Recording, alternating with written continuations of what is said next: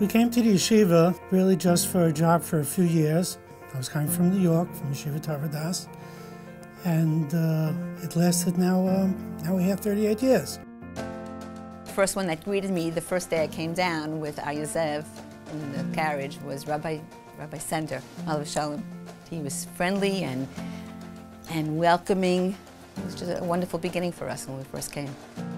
We came to be here as the dorm Rebbe, and also my wife was very instrumental in helping the boys, and our children became very involved also with the yeshiva. It was really a very special place to bring up children. My son went, is a graduate of um, Fasman High School, and my girls all went to, um, to TI. They have a lot of Hakaras also to, to the yeshiva. And it really became our, our home. There are very few people that have been as quietly dedicated and loyal to HTC as Rabbi Kutner has been. He is the yeshiva from day one. Anytime anything good happened, he was smiling. If there was a problem, he would take it to heart. The yeshiva runs through his bloodstream. There was never a happy day in his position where he had enough money to cover the expenses of the yeshiva. And he did an excellent job under very, very difficult circumstances. Rabbi Kutner has a very, um, a very big compassionate streak. He has an amazing balance between working hard to meet the financial needs of the organization, but also being compassionate and understanding of the difficulties that, uh, that our people are facing. Rabbi Kutner is a true Talmud Chacham. He learns, Torah is not the way he makes a living, it's how he lives. I'm not such a person who can measure tzaddikim, but in my eyes, he's a person who is uh, tzaddik in his actions and his ways. And the way he davens for us, you can see that he's uh, talking to uh, he's talking to the Ribbono Shel Olam. Rabbi Kutner has been the Baal Tefillah for us for so many years, Rosh Hashanah and for Yom Kippur. He is so talented, so professional, so inspirational. And Mrs. Kutner has been right there with him, supporting him, giving him up for us, and always with a smile. When the Kutners joined the yeshiva, Tova Kutner became an integral part of the yeshiva right away. Everything they do, they do it. They do it without fanfare. They don't need cover. They don't need fan. They don't need anybody saying good job. They personify the pasuk of it.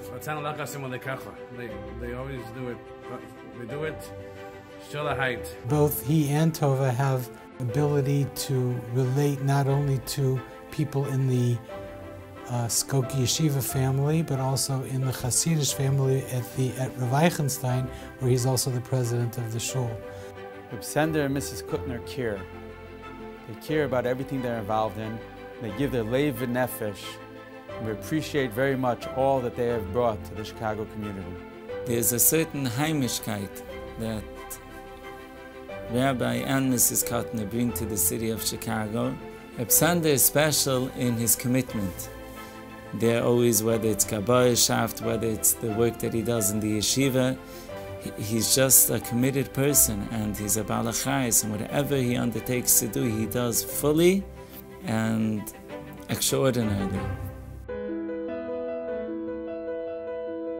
I have tremendous hakaras hatov to Rabbi Kutner for all the guidance he has given me over the past 20 years.